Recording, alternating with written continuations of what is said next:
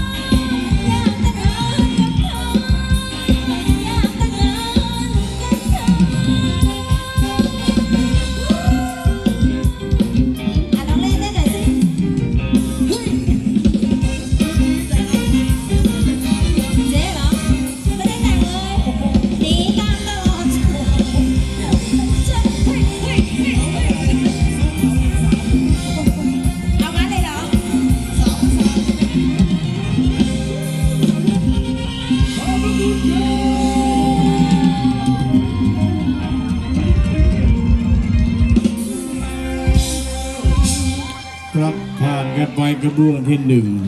แหมรู้สึกวันนี้ครับผมทำไมแรงจัง แรงได้จังนะฮะแรงจังวันนี้นะครับนะครับ โอ้คือสุดท้ายลมแรงแรงเลย เอาเดี๋ยวเออใครนักร้องรับรางวัลด้วยครับผมขอบพระคุณครับอ่าขอบคุณนะครับ ต้องขอบคุณนะครับท่านอ่าสารัตน์อ่าในเขตเขตทองท่านนายอำเภอบ้านแหลมขวันอบนี้คุณเยอะหน่อยท่านนายกทุกๆตำบลของอำเภอบ้านแหลมเลยและท่านกำนันท่านผู้